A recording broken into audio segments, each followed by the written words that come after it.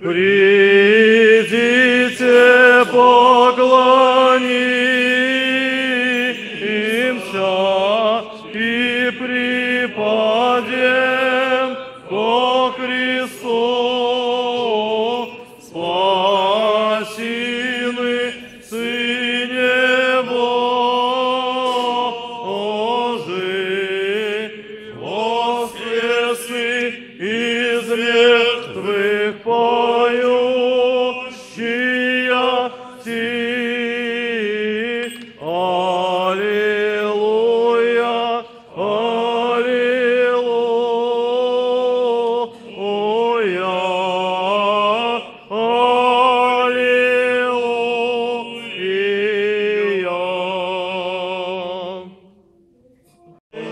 Святый крепкий, святый бессмертный,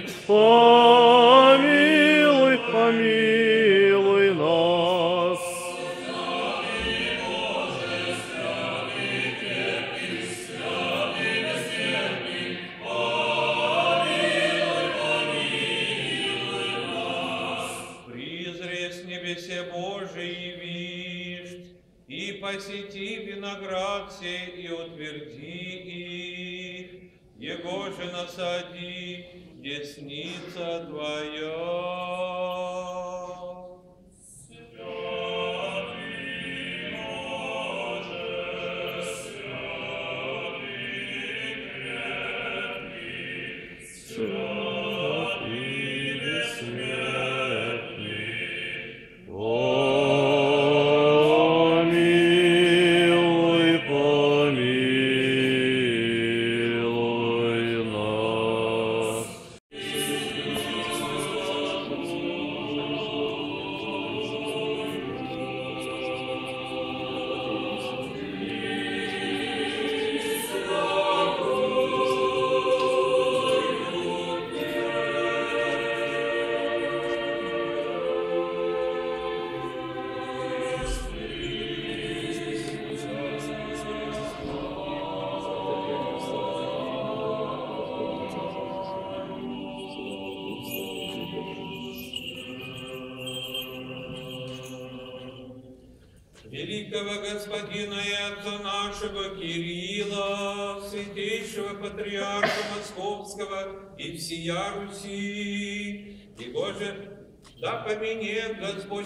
во Царстве Своем, всегда, ныне и присно, и во веки веков.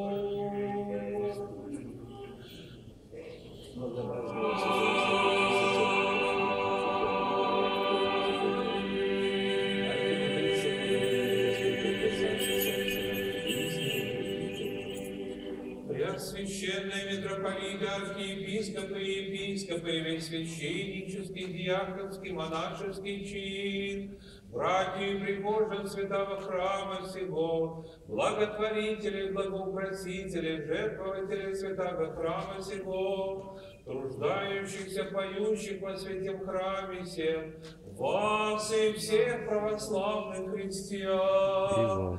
Да поменет Господь Бог во Царстве Свое, всегда, ныне и присно, и во веки веков. Благодать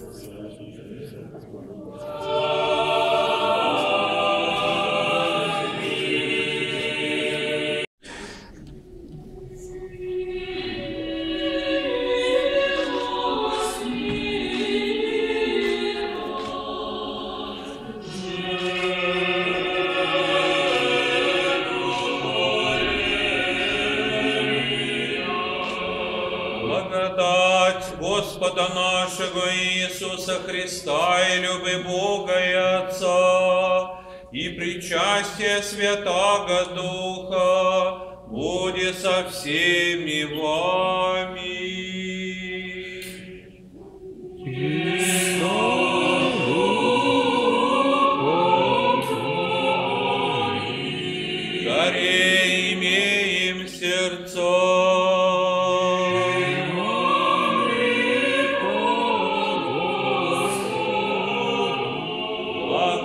благодарим Господа.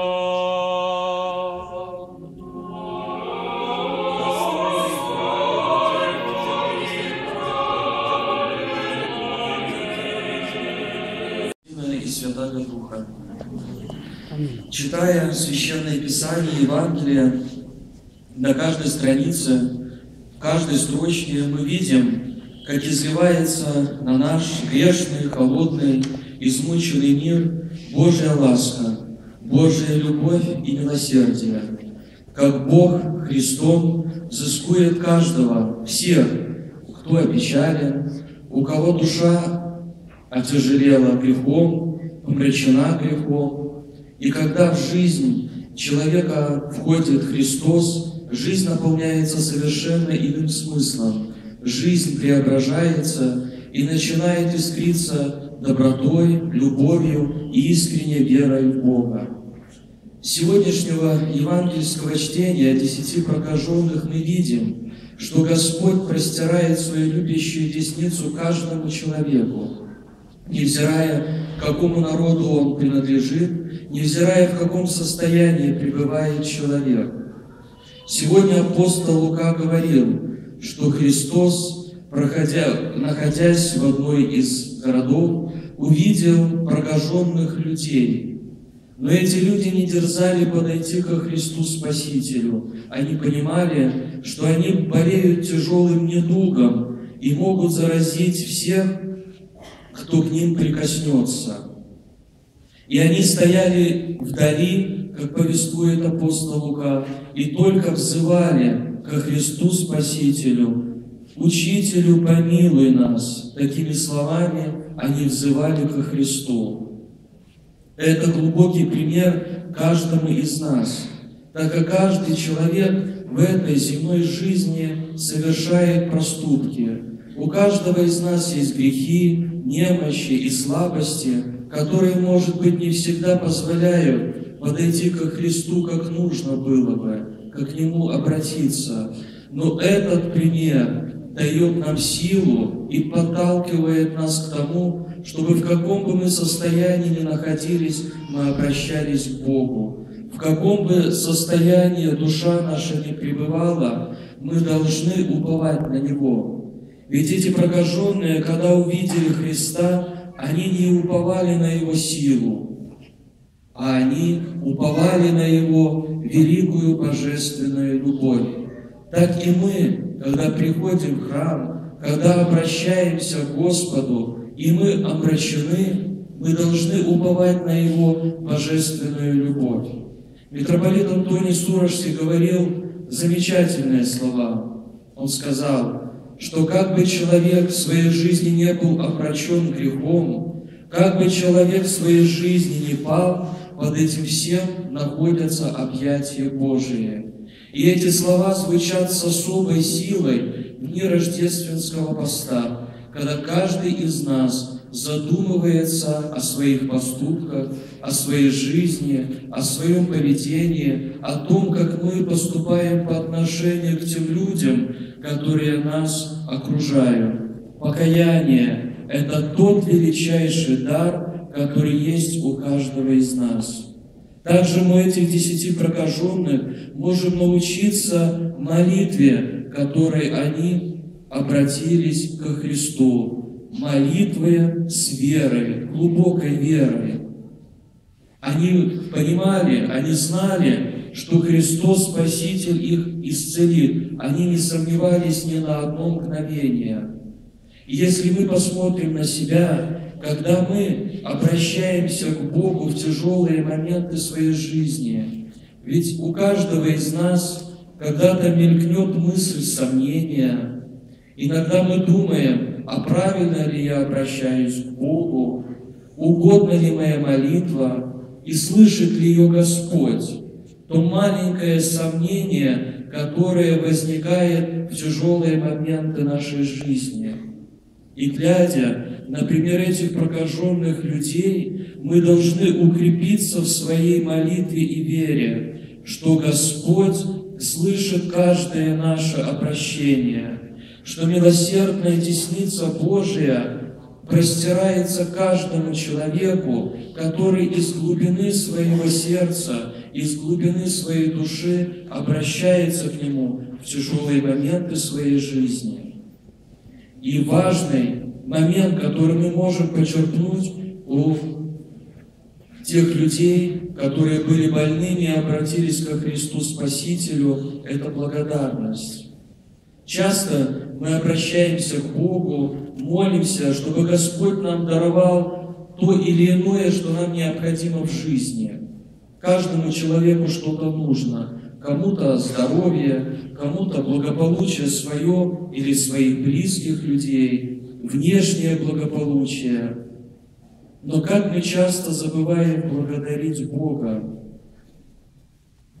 То, что мы и спрашиваем у Господа, и Господь дарует нам, мы забываем про это буквально через час.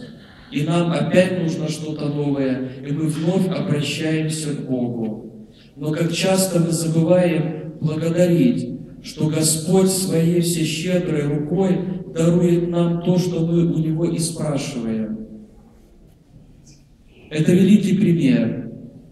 Эти прокаженные, один из десяти прокаженных нам показал пример, что на милости Божией должен зиждется фундамент благодарности, благодарности по отношению к Богу за все эти великие благодеяния, которые есть в жизни каждого человека. Если мы присмотримся к своей жизни, и мы увидим, может быть, не всегда большие, но маленькие чудеса, которые есть каждый день, каждое мгновение в нашей жизни. И Господь ожидает от нас благодарности. Мы сегодня слышали в Евангелии, что Христос Спаситель одобрил поступок, который совершил самарянин. Казалось бы, человек, который был отвержен от иудейского закона, который не, ходи, не входил в израильский мир, но он показал истинную добродетель, как необходимо обратиться к Господу, так как благодарность становится связующим звеном между Богом и человеком. Через благодарность в жизни человека появляется любовь к Господу за те благодеяния, которые Он оказывает в нашей жизни. Поэтому сегодня, слушая евангельское чтение и обращая внимание на 10 прокаженных, задумаемся и о своей жизни, почерпнем те великие примеры, которые мы увидели из сегодняшнего священного Евангелия. Аминь. Спаси Господи вас.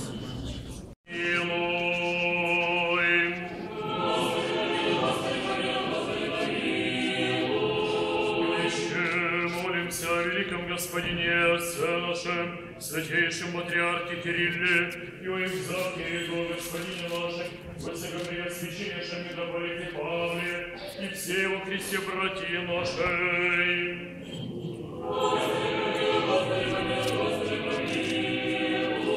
Еще молимся о богохранимой стране нашей, власти воинстве, народе ее, дотикая безмолвное житие поживем во всяком благочестии и чистоте. Еще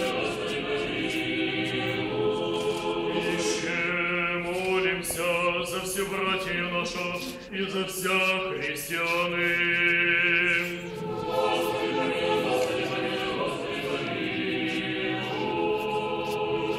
Слышаны, Боже, Спасителю наш, упование всех концев земли, сущих море далече, и милостью, милостью будь владыко, о грехах наших не помилуйны, милостью Бой человека любит Бог неси, и Тебе славу воссылаем, к Отцу и Сыну и Святому Духу, ныне и присно и во веки веков. О Владычице нашей Богородице, о милении души сердец, помолимся.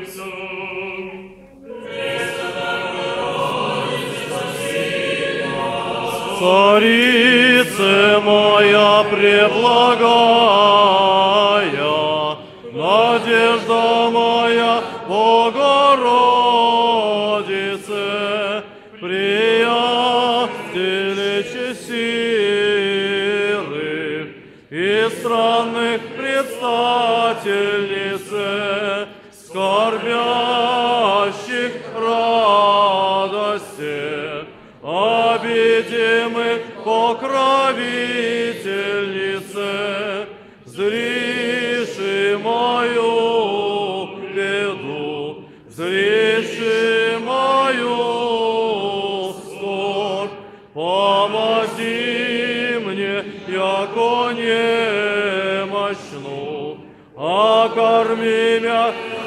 странно, обиду мою веси, разреши ту, яко волиши, яко не имамы ныя помощи разве тебе, не иные предстательницы, неблагие утешительницы, токмо к тебе, Богомати, яко да сохраниши нас и покрыши во веки веков.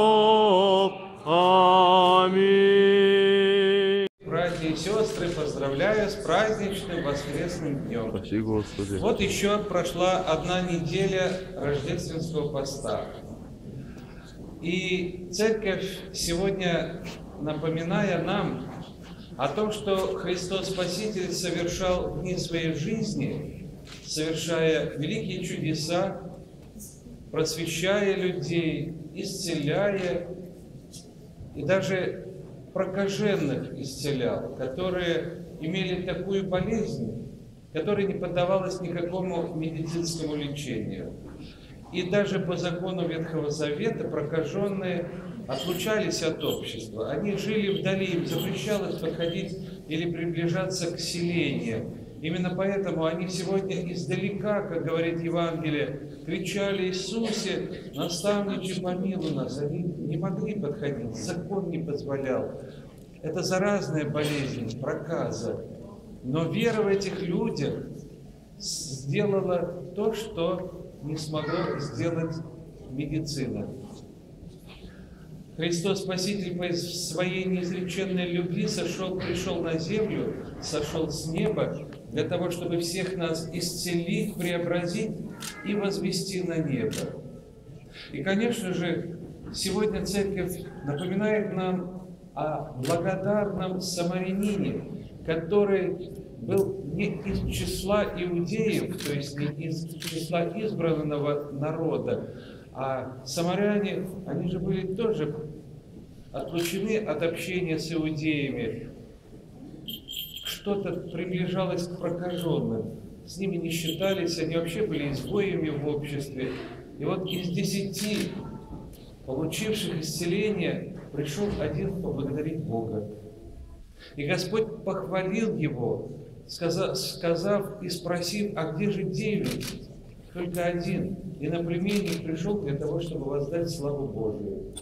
И, конечно же, мы понимаем и должны понимать, что жизнь каждого человека наполнена множеством испытаний, страданий, скорбей, печалей, болезней. Все люди, без исключения, подвержены этому явлению.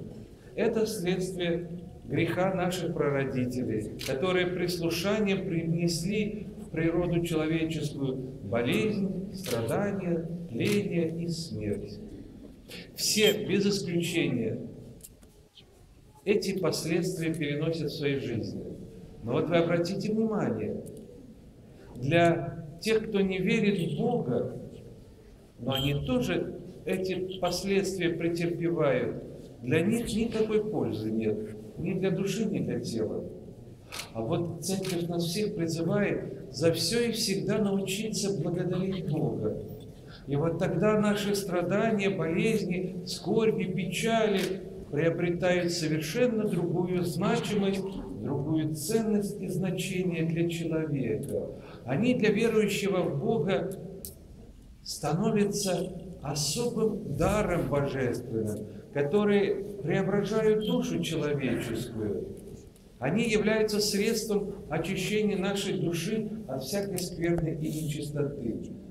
Да если еще и благодарит человек за это Бога, то, конечно, Господь его похвалит точно так же, как этого иноплеменника. Ну, конечно, кто-то из нас, даже из здесь стоящих, может сказать, хорошо тебе, ты здоров, у тебя все хорошо, конечно, мне можно говорить, за все всегда надо благодарить. Вот попробуй заболеть. А придешь домой, а дома проблемы. То муж пришел нетрезвый, то буйный какой-то, то дочь, то сын хулиганит. Попробуй тут, благодари Бога, да, от скорби и печали.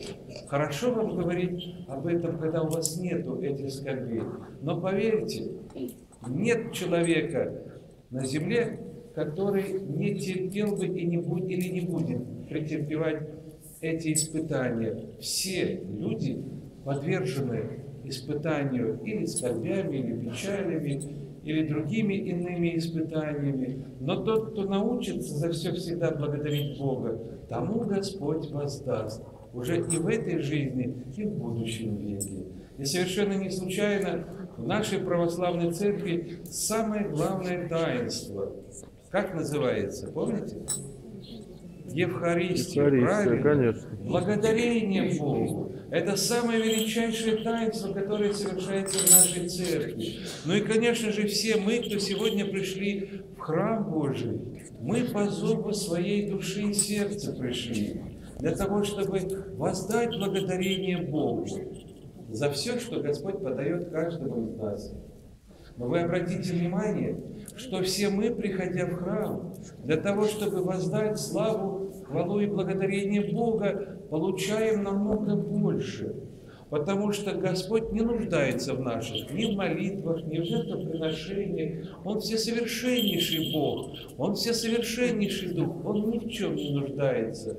Но каждый, кто приходит в храм и благодарит Бога, тому Господь воздает и подает все необходимое и для жизни земной, и сподобит еще всех верующих в Него и стремящихся жить по Евангелию, войти в Его небесное Царство. Обратите внимание, какие блага подает Господь всем, кто верит в Него, кто за все и всегда благодарит Бога.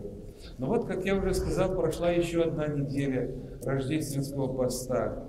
И у многих Э, особенно у людей далеких от церкви, даже, даже и среди нас возникает вопрос, а как же все-таки надо проводить дни рождественского поста, как и любого другого поста. И вот вы обратили внимание на послание апостола Павла, которое сегодня читалось? Обратили внимание, да? Можно я вам зачитаю, зачитаю буквально дословно? Потому как это ну, чрезвычайно важно и для меня, и я думаю, что для вас. Вот вы послушайте еще раз. Я вам еще раз напомню. Апостол Павел, обращаясь к Ефесинам, а через них каждому из нас говорит, вы были когда-то или некогда тьма, а теперь свет Господа. А все же мы стремимся, правда, к Богу, к святости, к свету. Поступайте как чадо света, говорит апостол Павел, потому что плод Духа состоит во всякой благо, благо, благости, праведности и истине. Испытывайте, что благоугодно Богу. Правда? Вот, как раз в дни поста надо испытывать самих себя, что благоугодно Богу. И не участвуйте в бесплодных делах тьмы, но и обличайте, ибо о том, что они делают тайно, стыдно и говорить. Это о тех, кто живет во тьме. Все же обнаруживаемое делается явным от света, ибо все, все делающиеся явным свет есть. Посему сказано, встань спящий, и воскресни из мертвых, и осветит тебя Христос. Вот к чему мы призваны. Итак, смотрите, поступайте осторожно, не как неразумные, но как мудрые, дорожа временем, потому что дни лукавы. Итак, не будьте нерассудительны, но познавайте, что есть воля Божия.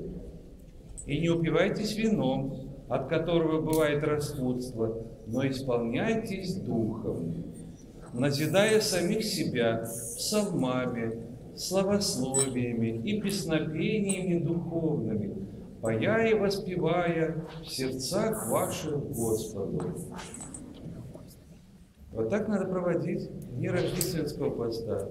Внимать себе, своему внутреннему состоянию не упиваться вином, а научиться проводить время в честнословии, в псалмопении и совершая дела добра, любви и милосердия.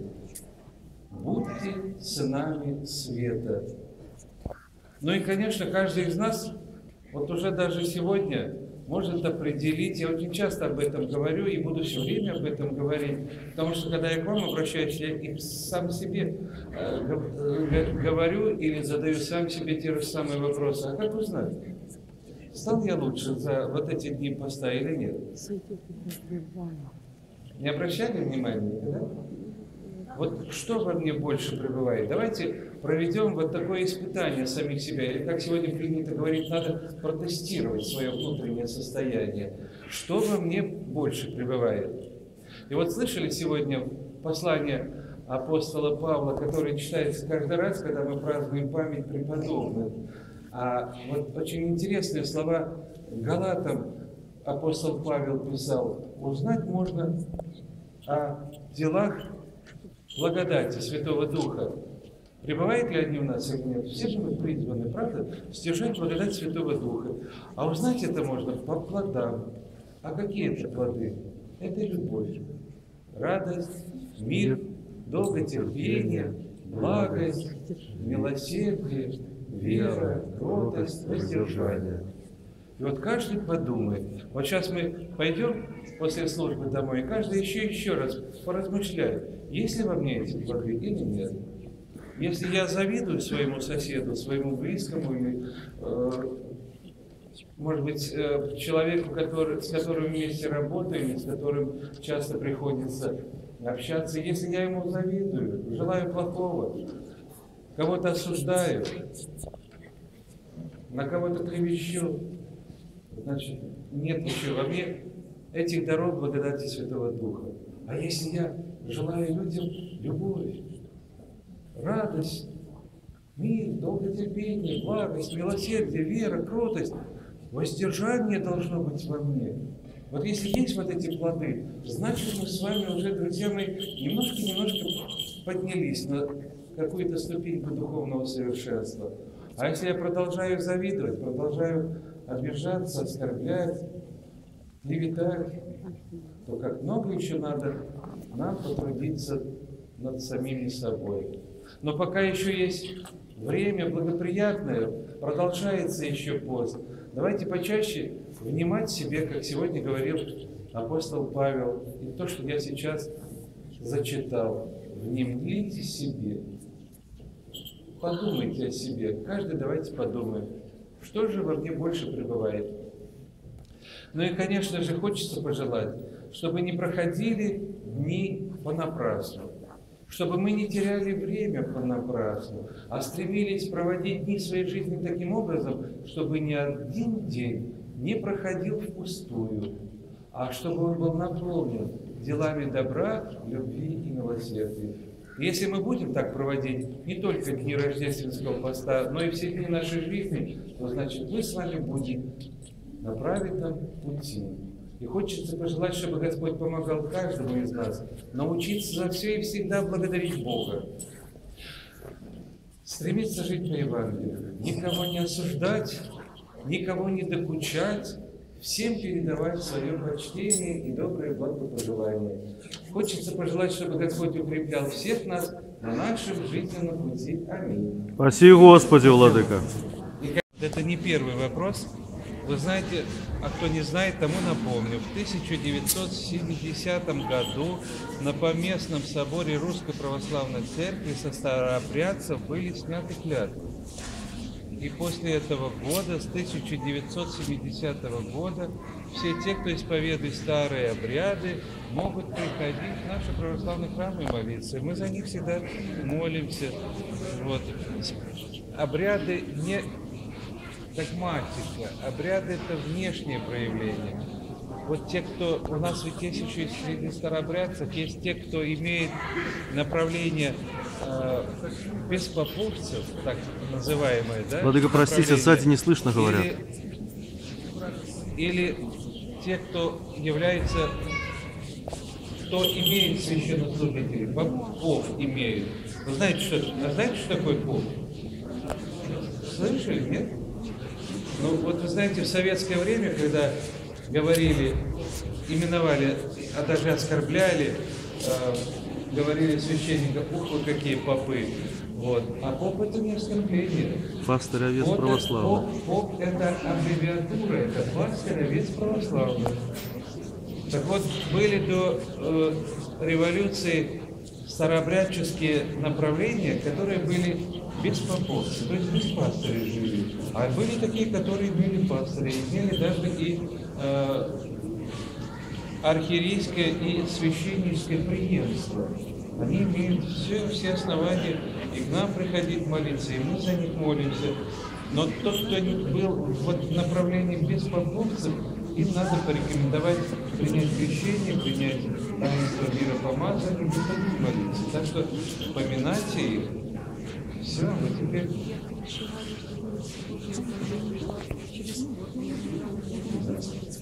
Вот, так что молитесь и поминайте. Но не- вы не пишите, они старообрядцы, там они. Зачем писать? Все поминайте, вы записывайте, все. Да, надо. Почему нельзя? Вам кто-то неграмотный говорил. Да. Можно, можно, имя. Не волнуйтесь.